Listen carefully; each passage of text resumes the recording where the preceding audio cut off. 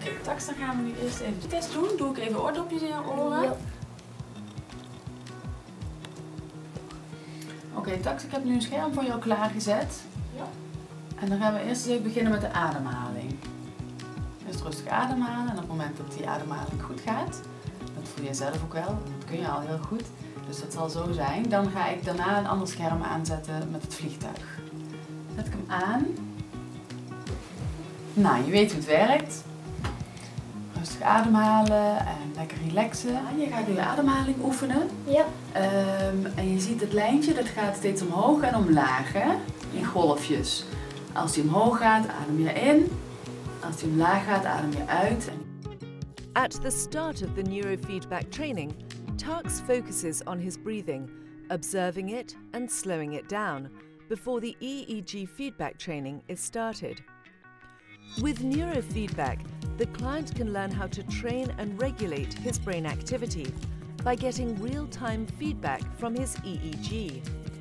Tux is controlling the movement of the rocket. It will only fly when he is focused and the brain produces the EEG frequencies which meet the criteria set by the therapist. The BioTrace Plus software analyzes the EEG signals coming from the brain and turns them into audio-visual feedback on a computer screen so the client can learn to control his brain activity. Neurofeedback training in many ways is different from treatment by medication. Unlike medication, the success of feedback training also depends on the motivation of the client and the skills of the therapist. It requires a certified and well trained professional who uses certified neurofeedback equipment, such as the Nexus 10 shown here. Because the feedback training essentially is a learning process enhanced by technology, it takes time and multiple training sessions. More and more clients experience what neurofeedback can do for them and are positive about the results they obtain. Toen ik Tax voor het eerst zag, eh, ja, toen, was die- toen vond ik het best wel moeilijk om zijn aandacht te krijgen. Dat eh, kan me nog heel goed herinneren. Dat ik een gesprek voerde en dat hij eigenlijk zo'n beetje overal en nergens was. Ehm, en nu merk ik dat hij er helemaal bij is. En dat hij zich eh, kan concentreren, dat hij eh, rustiger is. En ehm, als hij geïrriteerd is, dat, dat hij daar met mij over heeft. En dat we kijken van, goh, wat, eh, waar voel je dat dan? En ja, dat hij daar ehm, ja, de rust in gevonden heeft om, eh, om te kijken bij zichzelf van, wat gebeurt er? En wat doe ik nu? Wat voor gedrag kan ik nu eh, kiezen? Ja.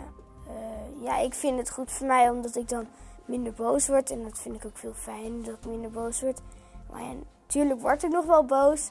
Alleen dan wel veel minder. Want eerst liep ik steeds weg van school. En dan ging ik naar huis. Of nu kan het niet meer omdat ik op zitvind school zit. En dan verstop ik me in de stad. En dan als ze dan eh, uit zijn, dan loop ik weer naar school. En dan kan ik, ga ik met mijn moeder mee. En nu gebeurt dat helemaal niet meer.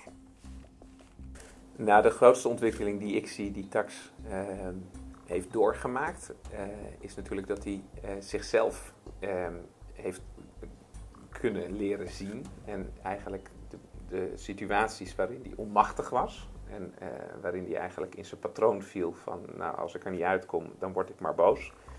Ehm, die heeft hij eigenlijk nu door. Hij is er een completer mensje van geworden. In de vorm dat hij zeg maar meer eh, variabelen kent om met situaties om te gaan dan die ene. Dus een rijker mensje. Ja, wat we bij neurofeedback hebben gedaan, bijvoorbeeld het geval van tax, is dus die theta-golven naar beneden trainen, de wat tragere hersengolven, eh, frontaal, hier op deze plek. Ehm, ja, en het effect daarvan is over het algemeen dat de concentratie beter wordt. Ehm, want de hersenen zijn dan niet meer vertraagd, maar gewoon op een normaal tempo. Dus dat hij minder last heeft van alle prikkels die binnenkomen. En zich makkelijker kan focussen. Dat is wat je heel duidelijk ziet.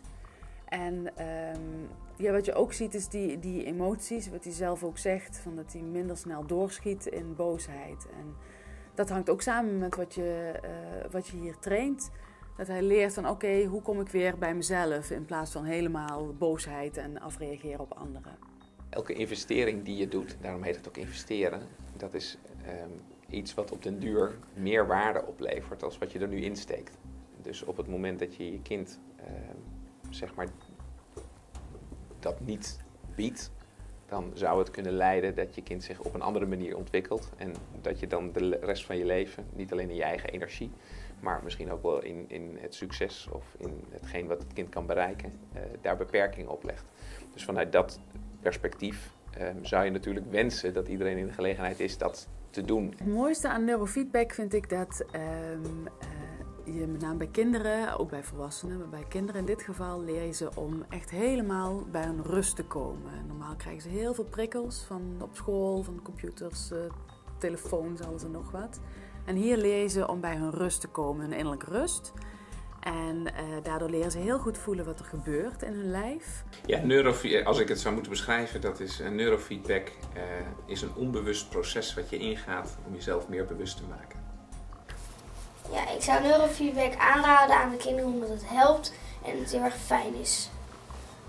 Okay, what what is so beautiful about neurofeedback is that it um, it it makes visual what happens inside.